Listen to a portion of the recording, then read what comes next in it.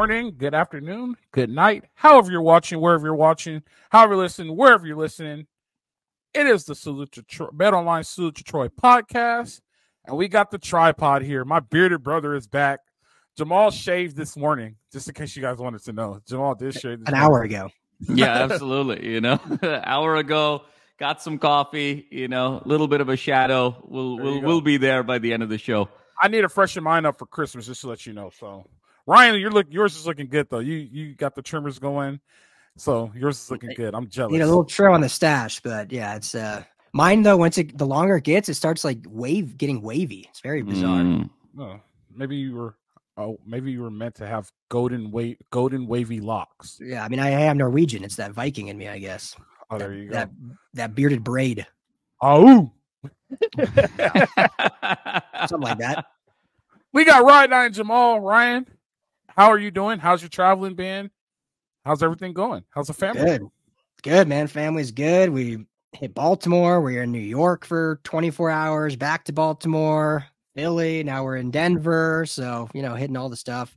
Uh, this next week will be nice. We're just with the folks in Denver, so a little more mellow, see some old high school friends and uh and then head back to LA for Christmas. So, but happy to uh, be on. A lot going on with SC, so we got a lot to get into.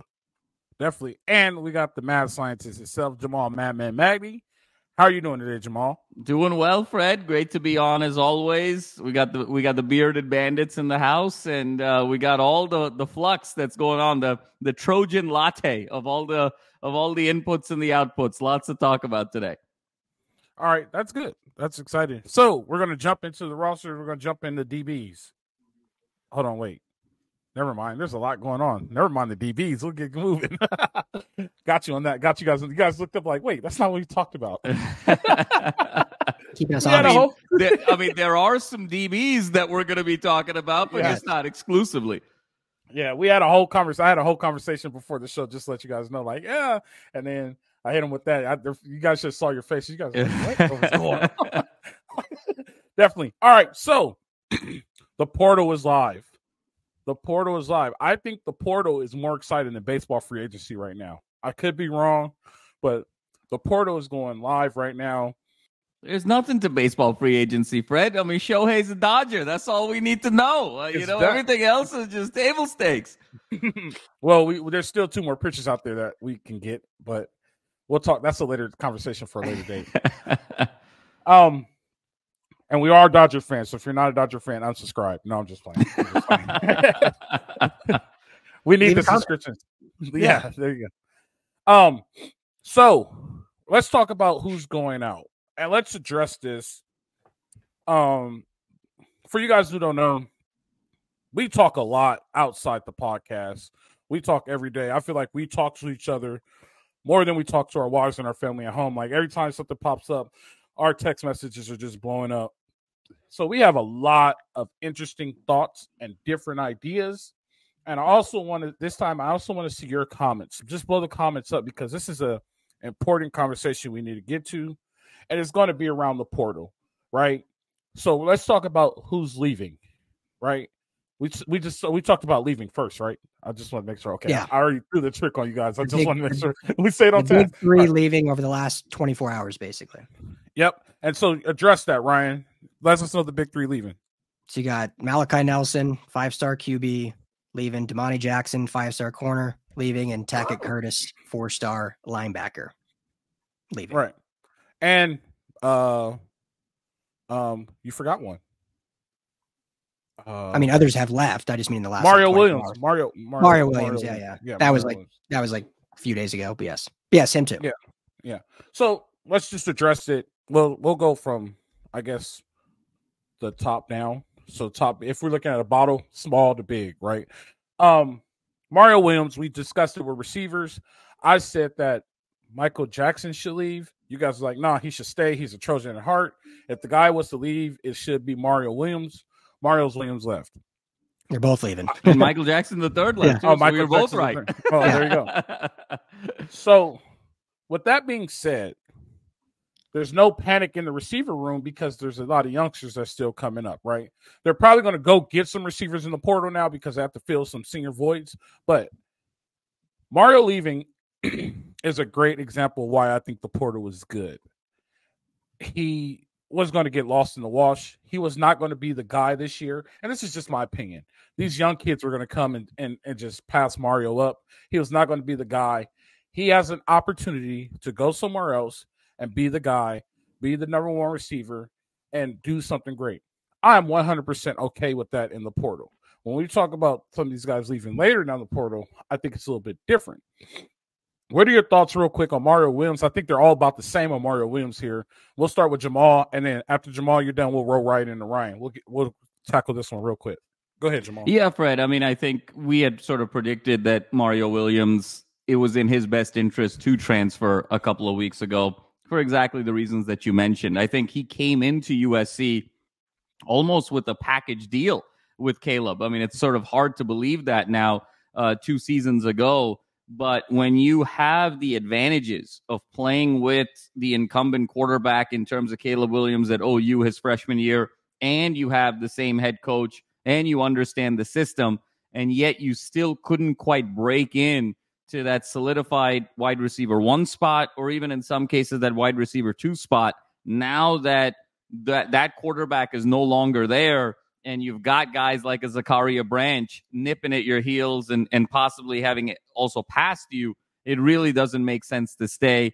He needs to go to a different environment where he can be more of a showcase player and showcase the speed, showcase the agility, his abilities on special teams, his abilities with the deep ball, and just really kind of round out, much in the ways that Raleek Brown has done going to Arizona State. I think Mario Williams needs to find a similar situation. So it made all the sense in the world and I'm glad he did it.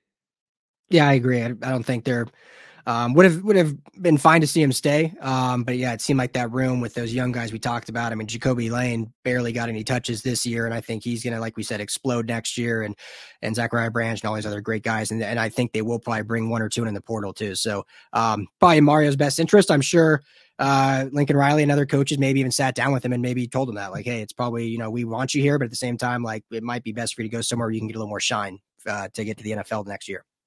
Yeah. So at this point, we all agree. I, I, I, guess we could say that. But no, I wish nothing but the best for Mario Williams. Great kid. He was a great contributor for what he has done, especially that first year, that come out year. I wish nothing for the best with him. I hope he goes somewhere and gets a great opportunity to play football and show what he could do and show his upside. So the next one that's out the door is Tackett Curtis. And it's kind of the same thing with Tackett Curtis. He had a great freshman year. Um, he was great up front. And as Jamal would tell us, those games up front were not great. Like anybody, I could go out there right now and play on those games up front. When it got for real, um, it was not his. He was not the best performer, and there was even times we were saying, uh, maybe Tackett Curtis shouldn't play. Maybe they should start going with Gentry and you know Mason Cobb. So, I think Tackett Curtis belongs in the Big Twelve. He's a Big 12 guy. Um, I can't see him in SEC. I think he has more success in the Big 12. I don't I'm, I'm not dreading the loss because I will tell you this, and this is only speculation, and I'm not reporting any news.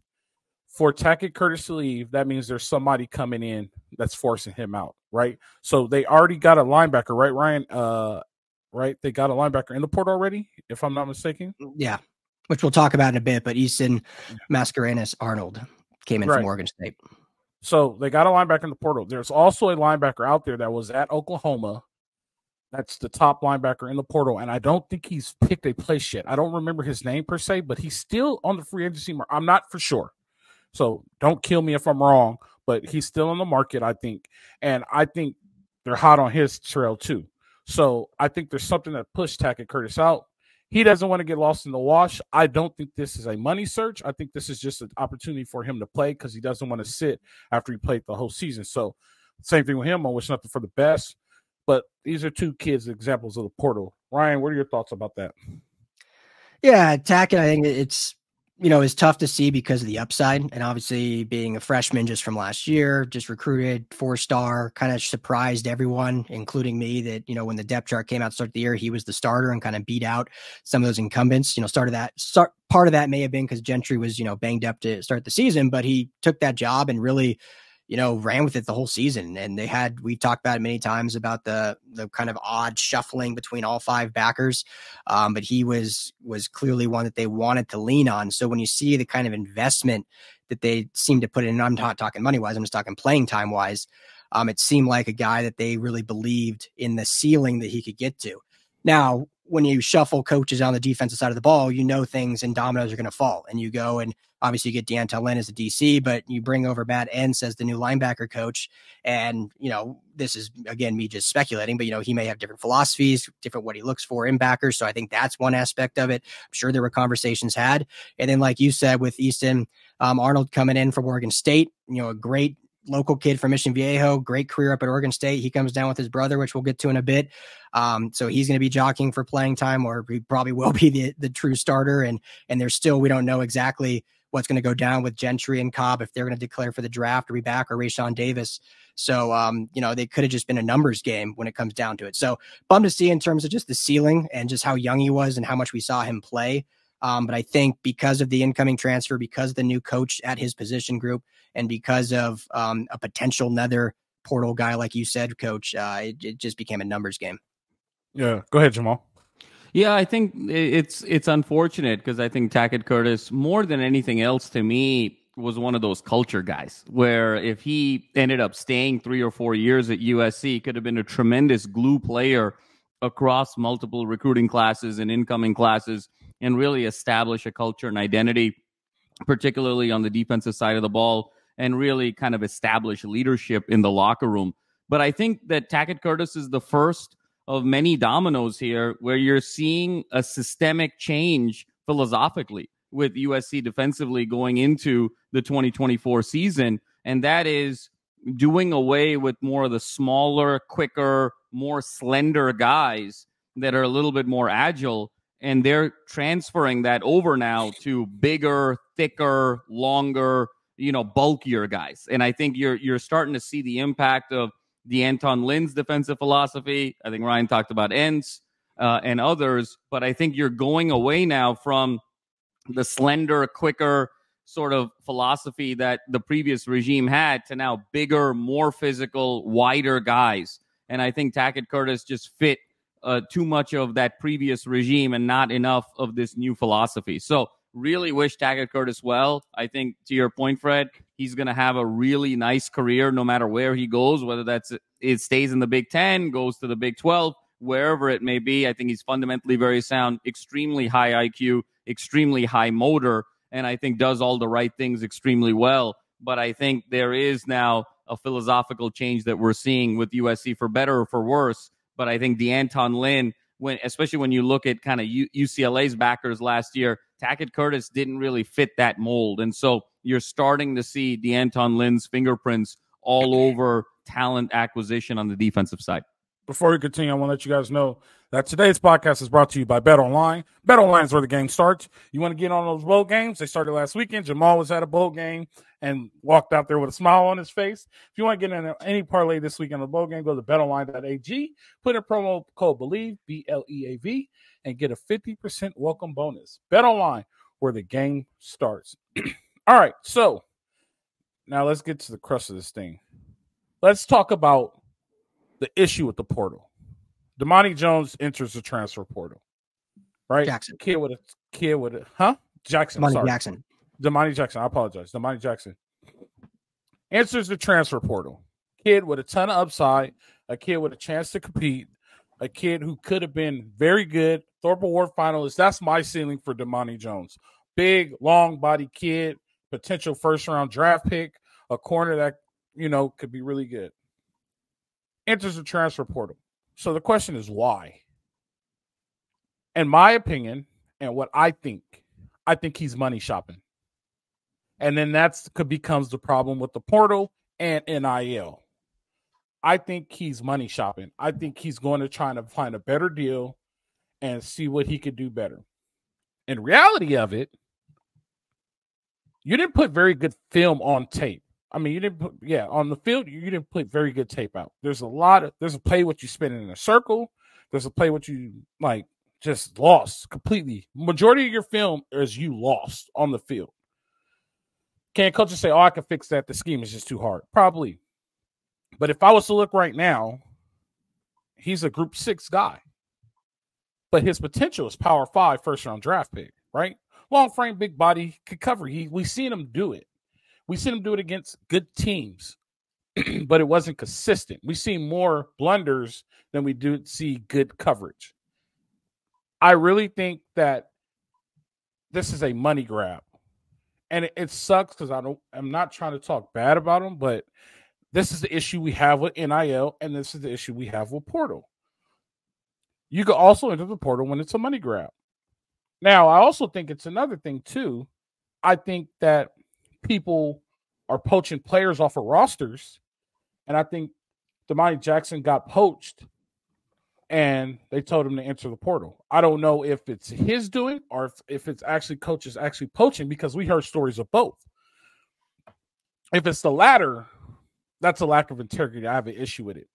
I don't see any reason for Domani Jackson to transfer. None at all. You're in the best situation possible. They got a new defense coordinator. They want to put you in a new place. They're they're helping your defensive backfield. You should have been the pencil starter. There's no reason for you to leave. I'm not happy with this decision because, in my opinion, I think he's money grabbing.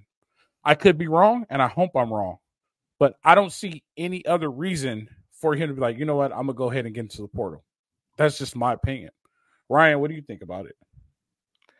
I mean, my again, this is just my opinion too. I feel aside from defensive coaching changes, which we can harp on all the time, and Doug Belk being the new secondary coach out of Houston, um, so maybe there was a conversation there, but to me, it was more of just he was a Donte Williams guy. I mean, he was recruited by Donte on Clay Helton's staff when Clay Helton was fired, and I could have the timeline kind of wrong, so correct me if I'm wrong, or anyone in the comments feel free. But after Clay was fired, he decommitted, and then once Lincoln Riley was hired and kept Donte Williams on staff, he recommitted, came to USC. So, and then now obviously we know Donte Williams and USC parted ways just a few days ago. They bring in Doug Belk. And as soon as Donte Williams is gone within 24 hours, he hits the portal. So there's probably, I'm sure, a lot of other situations into it. I don't like want to too much speculate. It could be money, it could be scheme, it could be whatever. To me, I just feel like he was a Donte guy, recruited by Donte, loved playing for Donte. And once he was gone, he's like, I'm going to either follow Donte to Georgia or I'm going to go start a name for myself somewhere else. So I, that's just kind of what I see as huge as a Donte guy. Madman? Yeah, no, I, I totally agree. I think that that really checks out. He his his attachment to Donte Williams was well documented and very evident. And I think the moment and, and I think that's also the interesting part about this whole process, right? Where you talk about transfer portal on the one side, but when you have a complete overhaul of the coaching staff, you're going to get guys in that really align with that coaching staff, but there's also going to be a cost there that guys are going to leave who are very close to the previous coaching staff. And so you're just sort of witnessing that turnover right now. And I think Domani Jackson, I agree with you, Fred. I think there's a really nice situation here for him at USC to grow and build. You and I had an extensive conversation about the possibilities of a tantalizing secondary in 2024. And Domani Jackson and his growth was certainly a part of that he is absolutely a phenomenal athlete at the cornerback position. And I think where the growth needs to happen is really from a skill standpoint, from learning his craft, from being able to understand footwork, being able to read uh, wide receiver body language and tendencies, and really sort of hone in on what it means to be a great positional player because he's got all the physical tools. It's a matter of putting it all together. But this, to me, was really a case of Donte Williams uh, was the, the guy who was the reason he came to USC. He didn't come to USC because of USC or because of the history or because of the pedigree. He came for a particular individual that he built a relationship with. And now, by all indications, he's either going to follow Donte Williams there or most likely go to one of the, the other two finalists that were deep into consideration, one being Michigan and the other one being Alabama. So I probably think he's going to go to Alabama, given they kind of know how to coach corners over there too. Uh, but I think this was a case where he wants to go where he can rebuild a very close relationship with the coaching staff. I got, I didn't know that part. And if that's part's true, that that that is a good reason. But I still would have not left, and let me tell you why. Just real quick, because he might get drafted, and they fire the coaching staff, and you can't go anywhere. You're going to have to learn from right. that new coaching staff. And if you don't learn from that new coaching staff, you're going to get cut. You know what I mean? Like, like the next level is is a very cutthroat business. So I just think this would have been a good true test of character for him to withstand it and be like, you know what? I got a new coaching staff. At first we butted heads, but it worked out for me and I would have been a, I became a better person. That's just my opinion. That's how I'm looking at it from a coaching perspective. But I still wish him nothing but the best. I still think he's going to be great. I can't wait until I see him get drafted so we can be like, I told you that kid was good. So like, there's no hard feelings for him. I just don't like the, I personally don't like the decision that he's making. Let's jump into our final one that's entering the transfer portal. And let's just jump into the roots of why the transfer portal is evil. Let's jump into the roots why the transfer portal and NIL are going to be the death of college football if they do not get a control over it. There's no reason for Malachi Nelson to leave. And I've seen this multiple places. He's never been healthy and he has a bad shoulder. I don't know the extent of the injury, but he's never been healthy. And that's one of the reasons why he probably didn't get as much playing time as we expected him to get because he has a shoulder issue. Malachi Nelson jumping in the portal. I you could say it's Donte, you could say it's this, you could say it's that. No college in the universe, no college in the history of university athletics has more Heisman Trophy winners at quarterback. Quarterback U is in Los Angeles, California, and downtown LA. Point. Prove me wrong. Show me somewhere else where there's multiple quarterbacks that has won Heisman's. You know what I mean? Like, prove me wrong, and I'm willing to see it. But I can name you Carson, Matt Leinart, or Caleb Williams right now. You know what I mean? John David Booty, he wasn't great, but he holds a Rose Bowl record for most touchdowns. People know who Matt Cassel are. You're in LA in a very, you're in LA where the market is actually favorable towards you. You could be on every billboard, you could be on every commercial. You are in Hollywood. The reason for him leaving, to me, I think it's a 100% money grab. I think that Maybe the nil didn't come through like he wanted to. Maybe he wanted a raise, and this is just all speculation. But if I was to sit down and ask him legit, why are you leaving? It can't be because of playing time, because the next question I'll ask him, well, how's your shoulder? You know what I mean? Like, how's your shoulder? Well, you know, okay, next. Here's your chance now. Go compete. Even though we're bringing it, go compete. Be be a player. Go show me that you're a five star. I don't mind putting Sam Howard on the bench if you're better than him right? Where can you where can he possibly go? And everybody will be like, "Well, he's a five star and this and that." I don't care. The fi- the film that he has out of the games he played are not great. We've seen him play at a college level, and it wasn't great. And I'm not taking. We know he has upside. We know he has a chance to be good, but he needs to be healthy.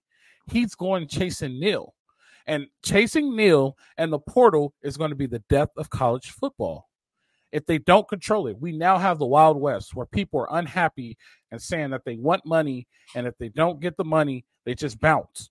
That's the death of college football, and that's going to cause a whole lot of problems, and it's going to kill culture everywhere, all the way from Texas A&M, who's a coat, to Florida, Alabama, no matter where it is. If you start chasing money, you're not going to be happy.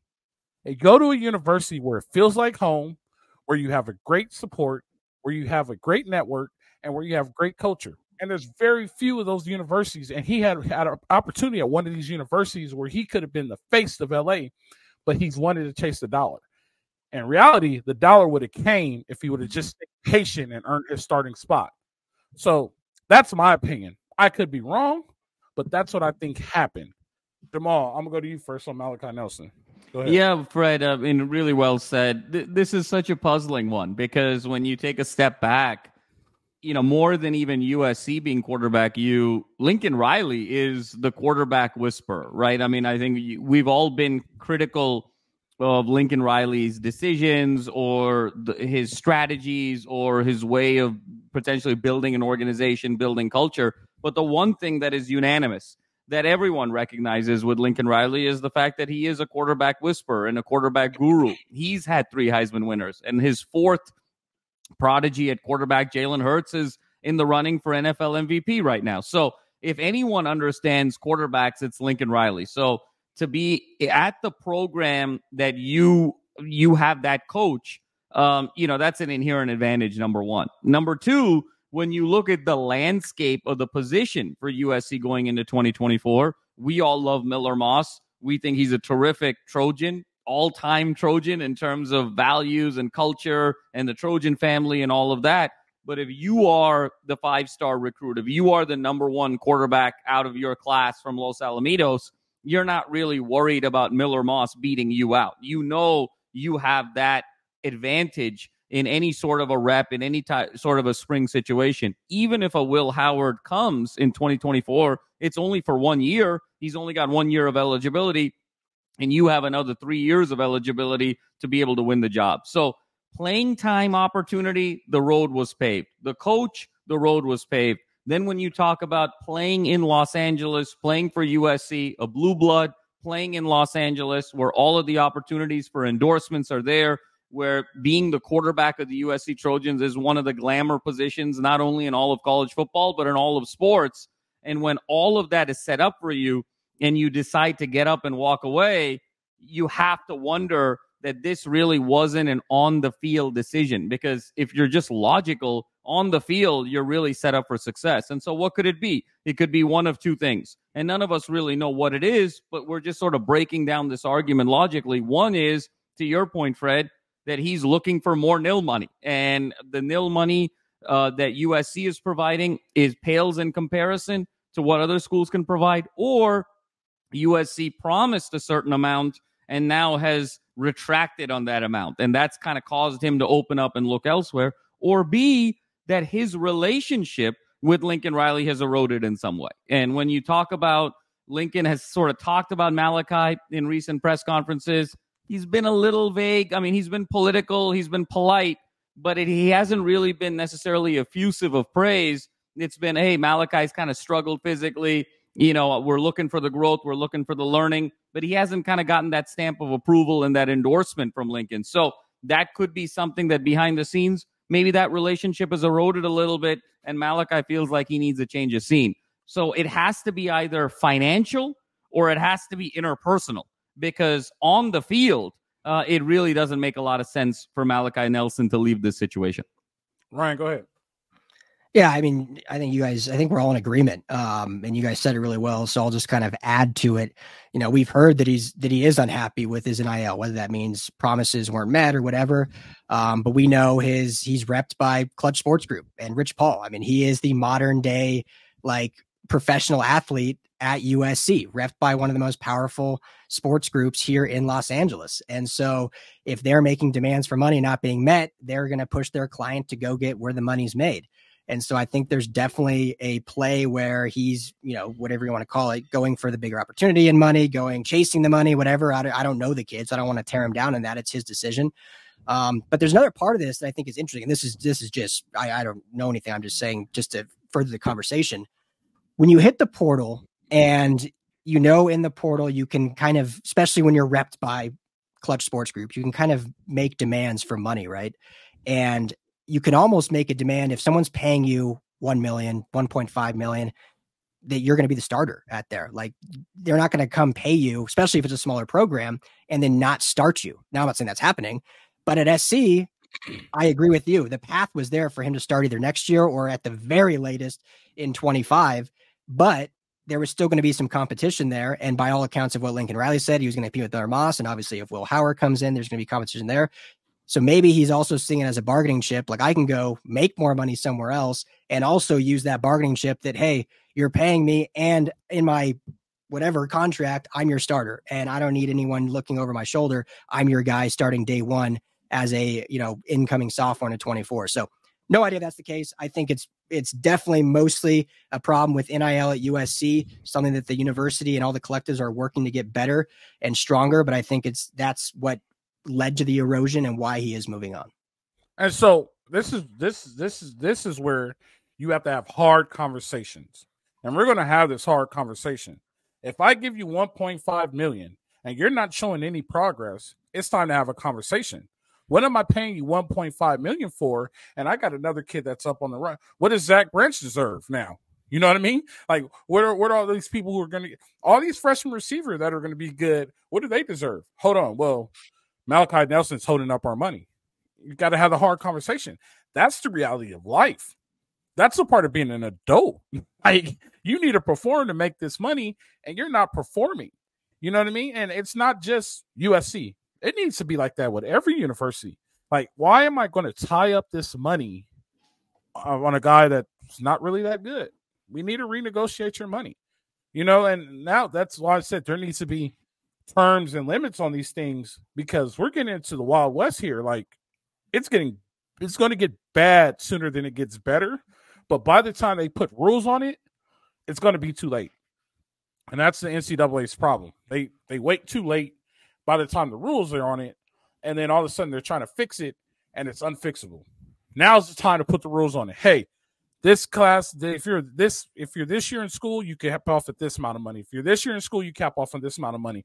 If you're transferring, you get this much up front, and then it's based on it's based on performance you guys want contracts we're going to give you contracts. Because guess what? At the next level the contract there's contracts and you have to perform to make that money. If you don't perform they'll cut you and take the cap hit. Then you get no money. You know what i mean? So like it, man like that's the problem be, with giving go ahead. I was going to say i'll be honest like i was very naive when nil first passed whatever it was three four years ago now. Um and you know we knew that there was not a lot of caps on it. We was we didn't know what it would be but to me at the time, I was like, oh, this is great. You know, now kids can earn based on, you know, getting Gatorade commercials. And, you know, if, if some boosters, the owner of a electric store, they can get him to do like electronic ads and stuff. Like I didn't know this quickly we'd be in a full on free agency, pay to play negotiation contracts with representation. Like it is wild where we are, how quickly we got here. And I was naive. I didn't see this coming this quickly. Um, yeah, I, I don't want to interject, but I just because you were saying it's like they need to get under control because it's. I mean, at this point, it's what it's going to be until some restrictions get made. Yeah, no, it's, it's such you. a re- it's such a good point, Ryan. I mean, it really just comes down to again, and I think we've said it now for a couple of shows, and I, I want to kind of keep beating the point there. It really just comes down to how many seven figure donors you have that's going to make up your collective. We can talk about the X's and O's on the field. We can talk about the coaches. We can talk about the personnel. Ultimately, that is the engine that's going to make this whole thing go. And I think what makes Malachi in particular such a fascinating case study, Ryan, to your point earlier, he was rep by Clutch Sports. And who is Clutch Sports? Yeah, it's Rich LeBron Paul, James. but it's LeBron James. And yeah. who else is rep by Clutch Sports right now? Bronny James and Juju Watkins, who is the superstar women's basketball player at USC. All three kind of were a package deal together with Clutch Sports as they sort of deployed nil together. And in many ways, they were this very unique fiscal marketing bundle that Clutch Sports is really using as a case study to generate as much value as possible. And so the fact that Malachi not only is leaving USC in terms of the on the field, but is sort of leaving the bundling that comes with clutch and the fact that Bronny is there and LeBron's at the games and Juju Watkins and all of that really indicates to you that Malachi isn't getting the money that either he expected or he was promised. Because even to your earlier point, Fred, it's not like he didn't perform.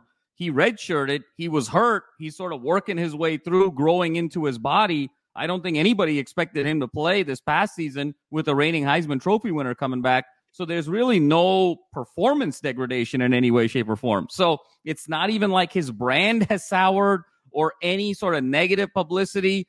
None of that has taken place. He's still sort of clean. I mean, he's sort of in, it's like a doll that's still in the package, right? Like nothing has happened.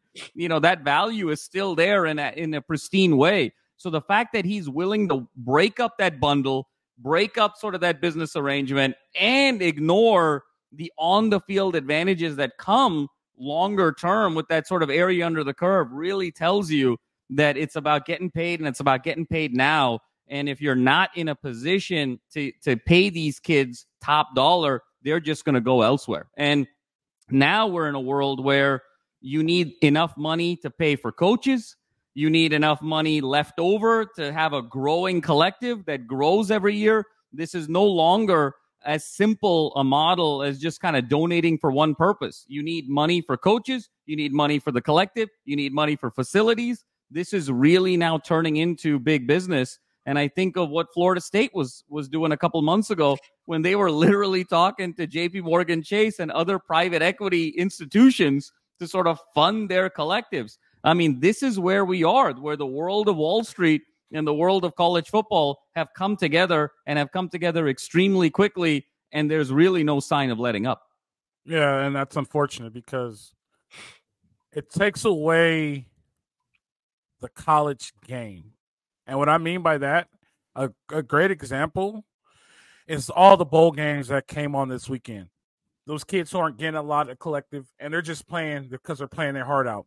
I watched the Stag Bowl Friday night. Those kids played their ass off, boy. I watched the D2 National Championship. Even though it was a blowout, they played their ass off. I watched the group of six bowl games this past Saturday, and they're just out there playing for the love of the game.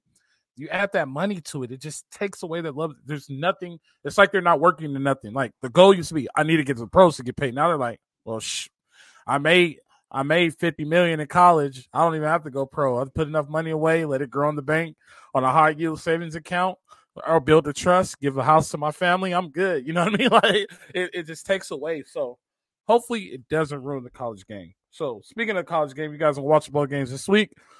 Stop by your local vendor, get you a Stone Brewery Fight on Pale Ale.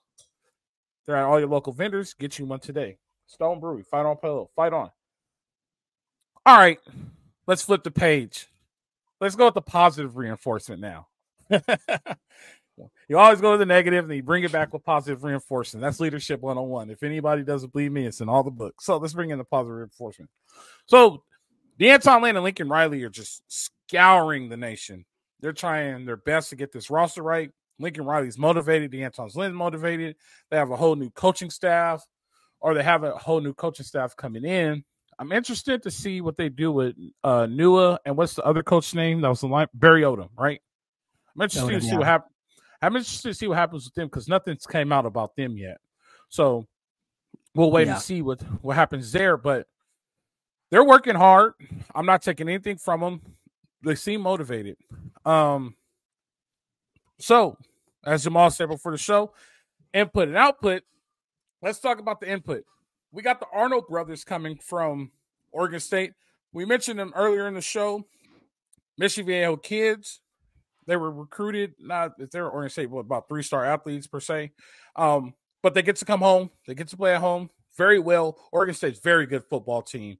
In fact, I just got into an argument with a Michigan State fan saying, you guys are a basketball school and you're expecting to win football national championships. You're going to be disappointed every year. So, like, you need to understand where the priorities are, are in that organization we have Coach, the same. Why you why are you bringing up UCLA? You know, this was a Michigan State guy. Like I know, I know, I know. I'm about to say, like I, have had this conversation. Like you need to understand, it's Izzo and then everybody else. Like there's a peck, there's level to this, man. But that coach at Oregon State did a really good job. Very good football, very well coached football program.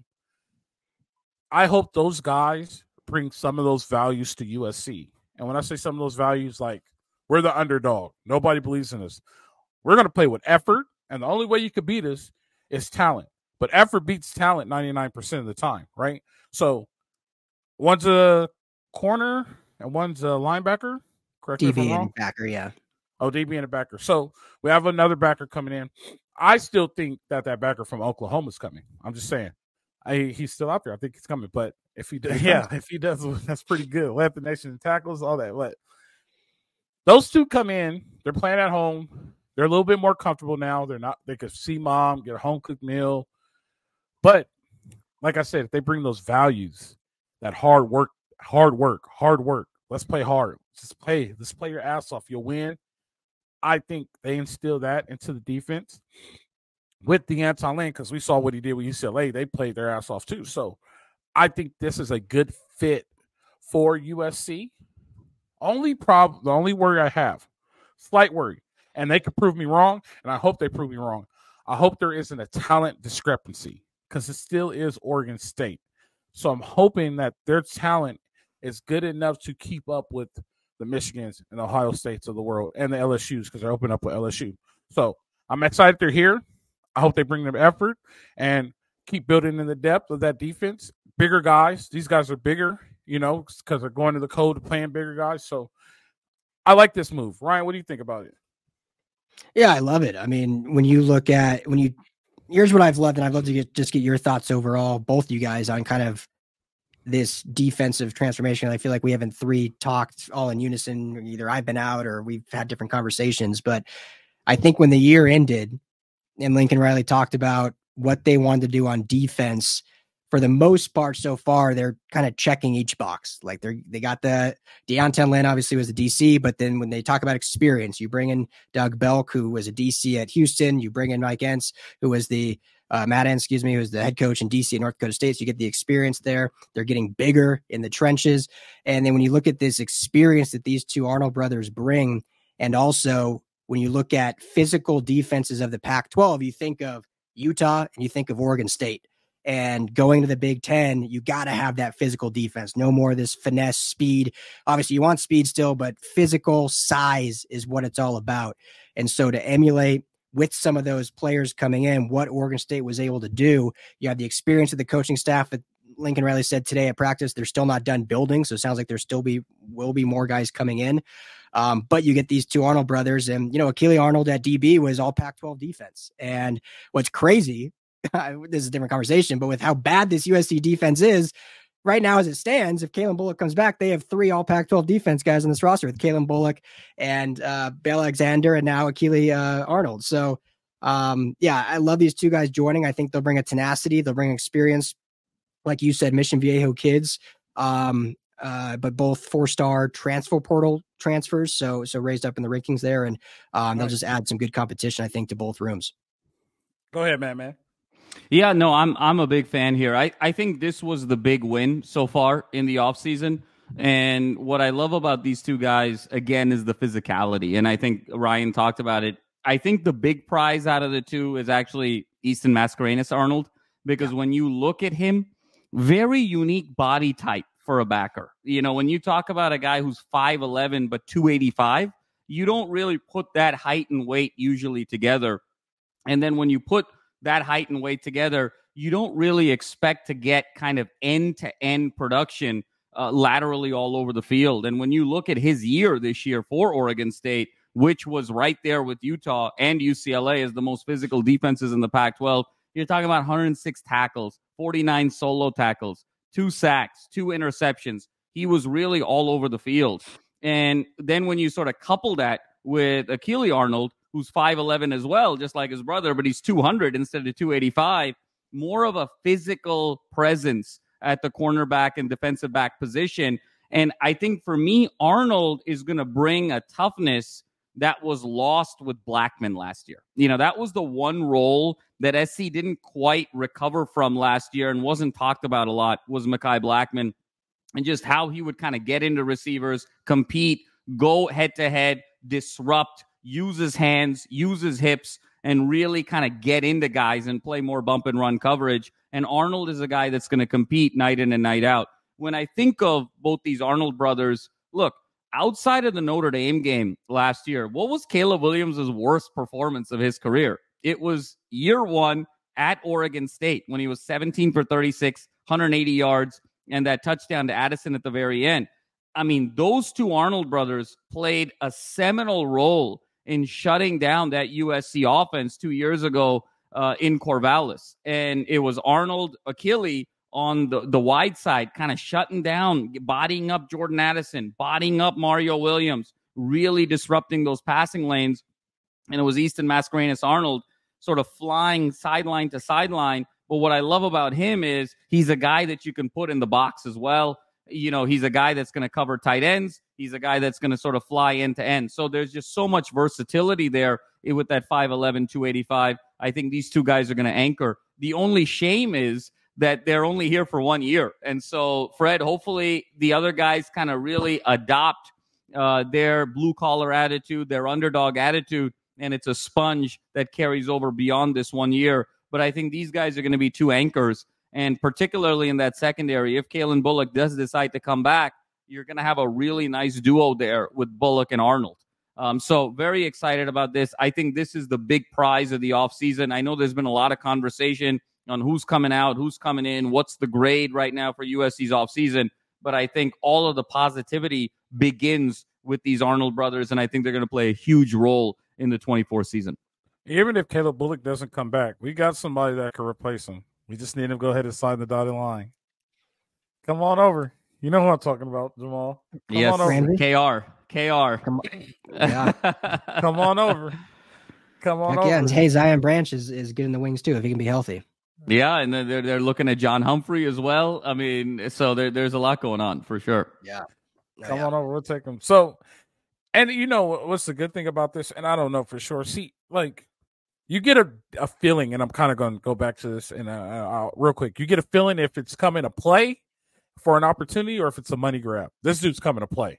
You know what I mean? Like these, the, both of these dudes are coming to play. So, like, I don't see this so much as a money grab. I think like we're going to get that hard work and dedication, and he gets to come home. Like that's the best thing. Like I get to come home and play, and my my parents could see me every home game, and even Vegas. Right? It's a forty five minute flight to Vegas. So I love it. I love both of that. Both of these guys are coming. Two big bodies, you know, and that replaces Domani Domani Jackson. Right? We got a big body for a big body, so that works.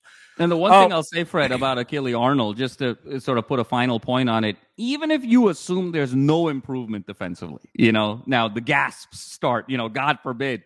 But even if you assume that schematically, personnel wise, for whatever reason, it's going to take D'Anton Lynn a year to sort of adjust. I don't believe that'll be the case. I think we'll see drastic improvement defensively. But even if you believe they're flat from the 23 season, what a guy like Akili Arnold brings, particularly in that secondary, is a physicality and a tenacity that opens you up for the turnover game once again. Because that was the big piece that was missing between 22 and 23. Look, 22's defense was structurally flawed, as much, if not worse, than the 23 defense. But the one thing that defense was able to do was generate takeaways. And they were Yep. able to do that because they were able to disrupt the timing and the the sort of the reality of every play.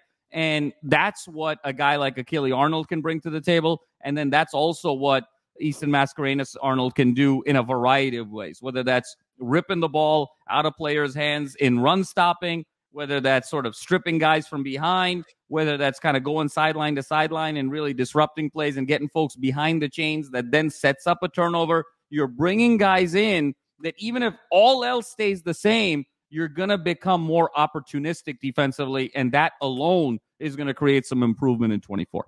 You know what my number one philosophy is as a defense coordinator? Create opportunities, one more opportunity for the offense. There you go. If I create one more opportunity for the offense, I have a chance to win the game. You know what I mean? Like I just want to create one more opportunity. So, um, that that's that's that uh, that's all- and so that's why the first year they were so good because they had 16 turnovers, right? And they were in the negative, and they gave Caleb Williams so many opportunities. This year, no opportunities, and and there's a, a turnover problem on the on the defense. So, um, that's that's if they if we could get that done, we have a very good chance, like you said, of being way better. And you put in Miller Moss in a better situation too. So that's another thing that you have to think about. So jumping on to coming in, and man, I am. This is interesting. This is interesting because Lincoln Riley has a very high success rate at quarterback. And when I tell you very high, very high, right? Right now, Jamal, we're going to have you do the math in your head. Baker Mayfield, Kyler Murray, Jalen Hurts, Caleb Williams. Am I missing one? Four to Spencer, thirty-two. uh, Spencer Rattler. Right? Four Right? out of five. Four out of five were successful. What's that percentage? 80. 80% success rate. Simple, simple math. I, I, I thought I was going to name off a lot more. So- And then, and then, if you really want to get down to it, Cliff is still on staff. Johnny Manziel, Patrick Mahomes. so you know what I mean? Like, there's a lot of, a lot of quarterback gurus there. Will Howard committed to USC, and a lot of people say Will Howard does not fit at USC. I would disagree because this is a kid that was recruited by Lincoln Riley. This is a kid that has his film watched by Lincoln Riley extensively. and he thought that this was the guy to go get. I'm not sure if Cam Ward has committed anywhere yet. Do we know? Not No, yet. Has And even not, not as of yet. As I of don't even- now, Howard's not a official official, but it's like Yeah. 100% prediction he will. And then also, oh, so he hasn't committed yet. I thought they said he Not committed. officially. It was not it's close. officially. It's like all the outlets are 100% predicting it. He's committing to SC, but which We can means run- it's we not can run- we 100%. Yeah. because we know how accurate the outlets are. Well, Yes. even if Will Howard's the guy, I'm still going to go on what we're going to talk about. If I'm wrong, forgive me. Um, Will Howard is built different from all the quarterbacks that Lincoln Riley has had. His tallest, I think, was Caleb Williams at six two. You know what I mean? Maybe Jalen Hurts was about six two, but Jalen Hurts was bigger. But Baker Mayfield's smaller than most. We know Kyler Murray is a little guy, right? Spencer Rattler's not that big. Will Howard's a big guy, 6'4", 240, right? 242. yeah, like 242. Big Ben. But he could move, he could run. Uh, 10 rushing touchdowns. Lincoln Riley sees something in this quarterback that can make him special. And I'm going to put it on record right now.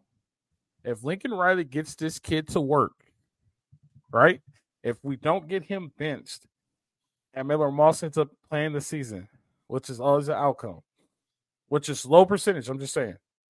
That's the worst possible. But if if SC is successful, and I'm talking successful Big Ten championship, like top four playoff seed, Will Howard's going to win the win the Heisman Trophy. Because you're when you're 6'4", 250, you don't do what you do. What, what we're going to see in Lincoln Riley's offense. I don't predict pocket passing. I predict him running. I predict him doing all the same things that all the quarterbacks prior to Will Howard has done. This is going to be very interesting and very fun. Very interesting and very fun. There's something that he likes about this kid. That's why he wants him. This is going to be great. The fact that, man, it's going to be Jamal's going to be hard to fire him if he has if he has a if he has a bad year in 2025 because in three years he'll have two Heisman Trophy winners. like that's going to be tough. Like you can't tell. There's nothing you could tell me that says he's not a Heisman Trophy winner. And I, I'm I'm talking undefeated, one loss, bad day. Why why else would he not be the Heisman Trophy winner? Because in, in in Lincoln Riley's offense, that means he's doing some amazing stuff, putting up big yards, big touchdowns, a lot of points. Who who what like who else would be able to do that? You know what I mean? So like statistically, he's going to be way up there with his frame, his stature, and his quote unquote style. That's my opinion. I'll, I'll let's go. I'll throw to Ryan. I'll let Jamal reflect on that. I want that to boil a little bit in Jamal. Ryan, what do you think about this little Howard thing? Yeah, I mean, we talked to, about quarterbacks what a week ago when we did our, our show Yeah. and, and fits, and um, you know, I, I think we said it there. Like it, it's it'd be re- it's gonna be really fun to see if it comes to fruition, just because of the size difference, because of a little bit what he can do different inside the pocket.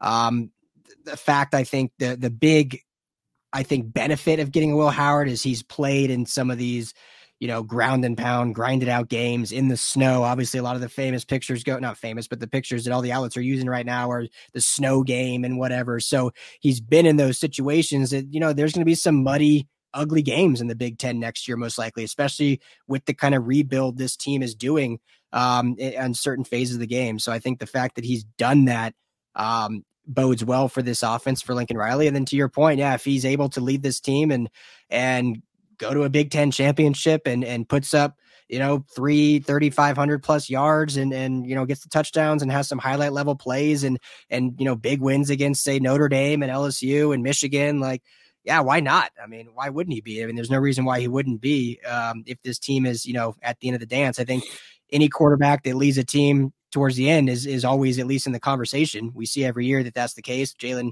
you know, Milroe at Alabama was in the conversation late in the year, and and even we saw how he started. So as long as your your team's at the end there and you have at least uh, competitive numbers, you're going to be in the conversation. And if he goes above and beyond that and what we think he can probably in Lincoln Riley's system, then yeah, why not? Why not have your second Heisman Trophy at USC in three years?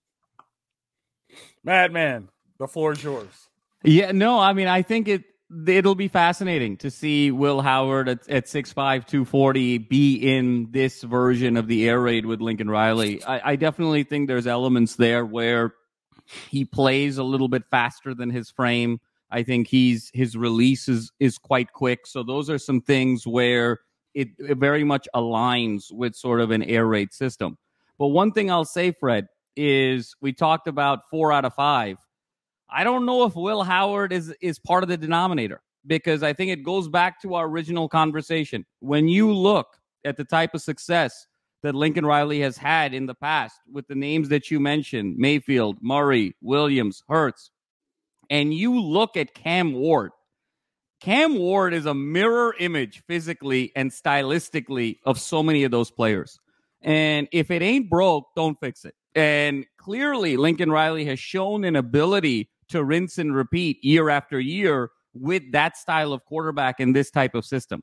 And so the fact that it is Will Howard as opposed to Cam Ward, I don't know if it's so much Lincoln Riley wanting to think more outside of the box or it's a situation where SC just doesn't have the nil for Cam Ward.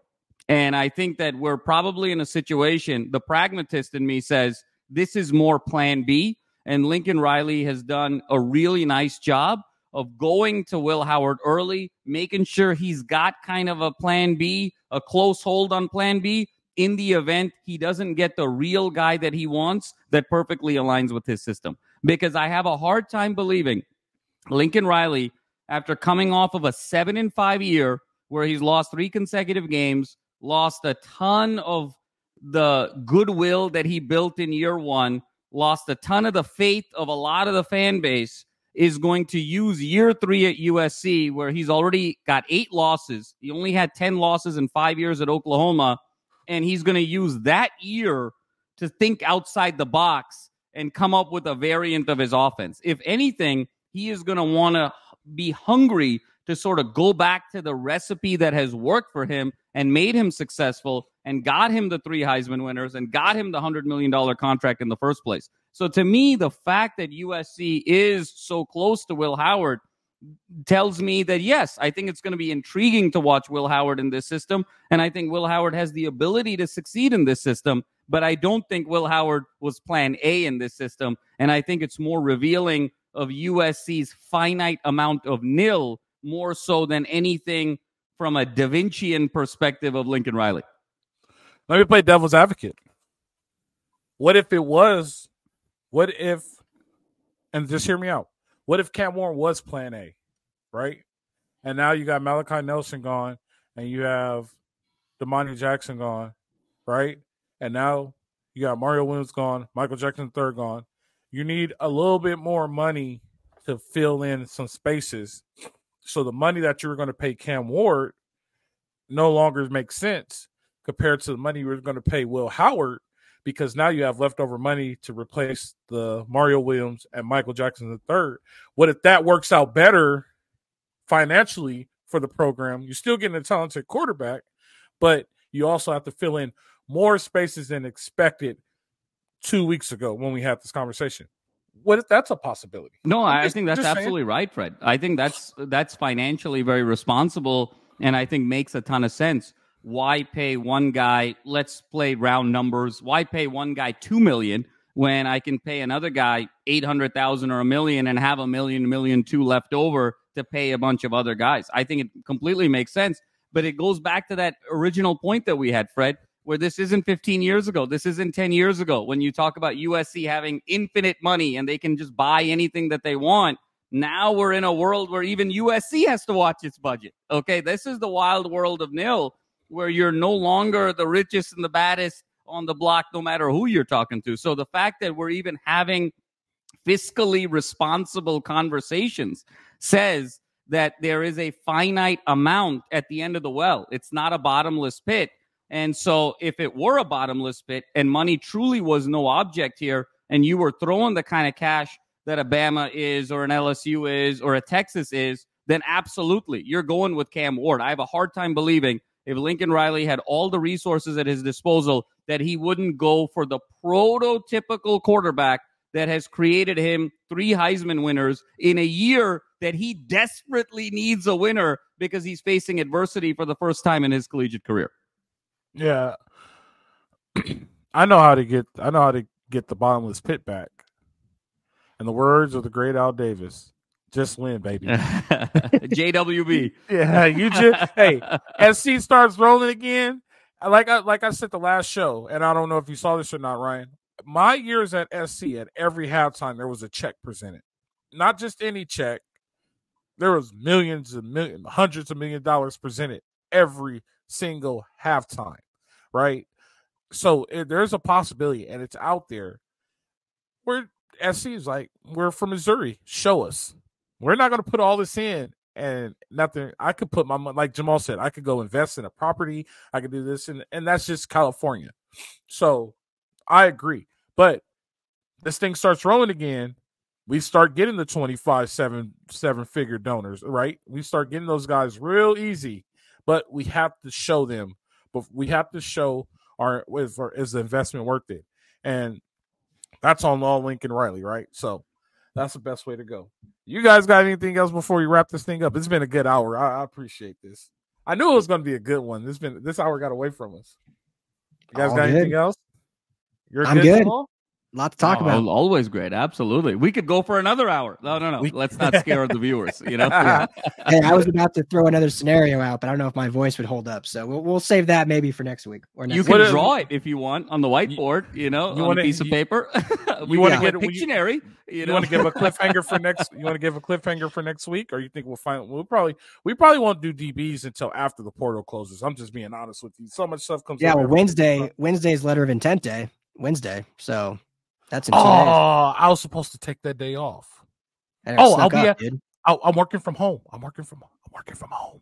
All right, See, see if all, anyone who owns a business is watching our show, this is why return to office is important. Because look at Yes. Fred's reaction. He said, "Oh, I'm working from home," as if that was synonymous with taking the day off. Okay, that's why people are mailing it in in their pajamas at home. You know, having nice coffee and popcorn and lattes and candy and all of this stuff. So if you're running a business and watching this, get your folks back in the office. You know. Hey, Please I've don't been, tell me.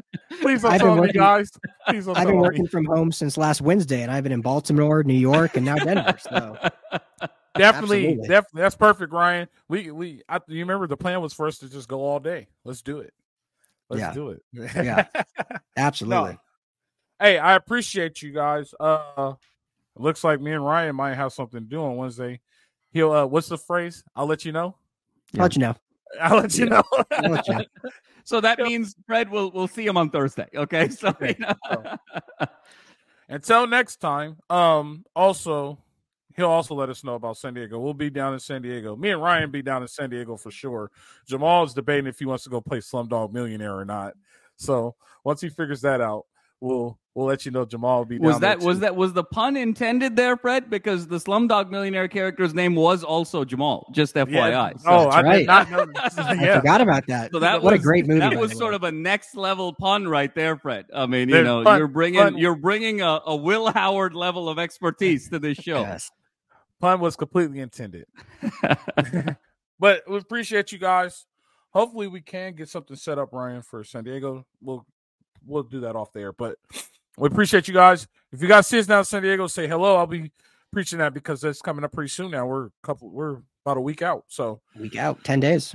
yep, ten days out. Nine we'll see you guys in San Diego. Nine, yeah, because today's 18th. We'll see you guys in San Diego. See us, say hi. It's been fun. Great conversation, man. I love hanging out with you guys. You guys know how it goes. We'll see you next time. Live free, fight on.